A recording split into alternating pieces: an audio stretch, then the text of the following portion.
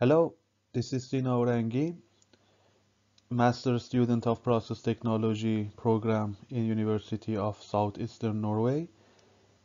This master thesis has been done by me under supervisory of Professor Lars Erik as main supervisor and also as a co-supervisor, a PhD student, Solomon Aromada. The importance of the topic can be understood from the presented pictures. In the left-hand side pictures, it's obvious carbon dioxide has the biggest share among the other greenhouse gas emissions annually.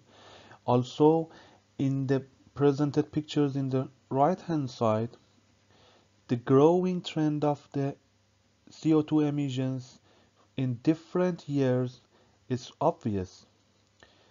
So it's really reasonable to use different methods to capture CO2 for better and healthier world. There are different methods to capture CO2 from the flue gas coming from plants or industries. But the presented pictures here, name absorber desorber amine base process, is the most important and well-known and popular processes in the world to capture CO2. The process, the process is mainly based on absorber and desorber. In the absorber, with the aid of a solvent like MEA, MDEA, or piperazine, the CO2 particles from the sour gas will be absorbed. And also in the desorber, with the aid of a steam coming from the reboiler, the amine uh, will be generated and sent back to the process. The other items like heat exchangers and pumps uh, should be used in the process to satisfy the requirements.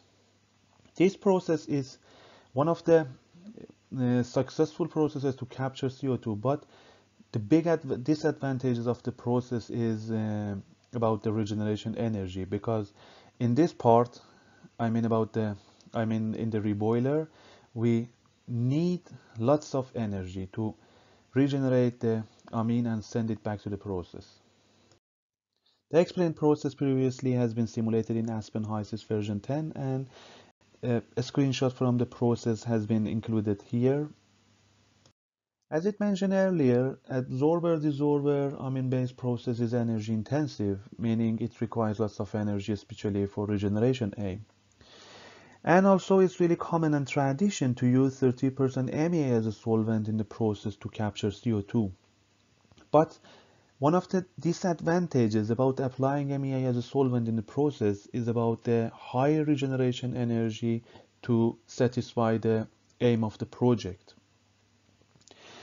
So we need to apply the other solvents or their blends for lower regeneration energy because lower regeneration energy can also bring some advantages in case of economy of the project. I simulated the the process, the presented pro process uh, with this blend, I mean 30% MEA and 5% piperazine. And according to the simulations and regeneration energy analysis, this blend can save energy 4.5% in case of 30 applying individual 30% MEA and also about the blend of MEA and MDEA adding 15% MDEA as a solvent to 30% MEA can save energy 7.4%.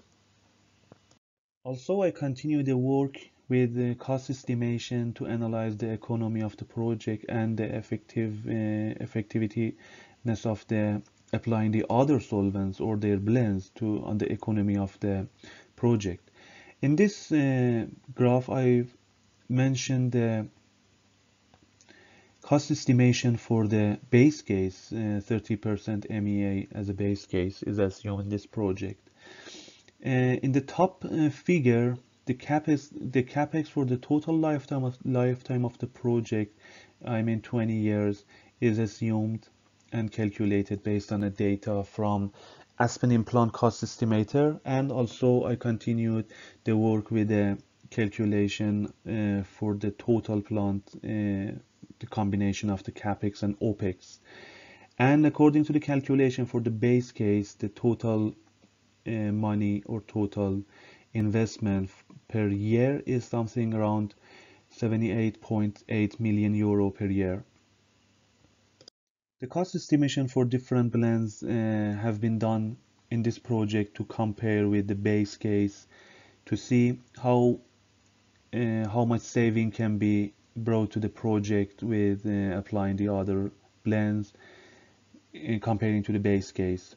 As you can see in the left uh, presented figure, applying, uh, for example, the blend of MEA and piperazine can bring more than 4% cost saving annually. And also in case of applying MEA, the blend of MEA and MDEA, for example, this blend can bring uh, more than 5% cost saving per year for the total plant. It was a short uh, explanation about the benefits of the applying the other blends mm, uh, rather than using individual MEA in the CO2 capture plant. So for more and detailed information, you can read my thesis. Thank you for your attention.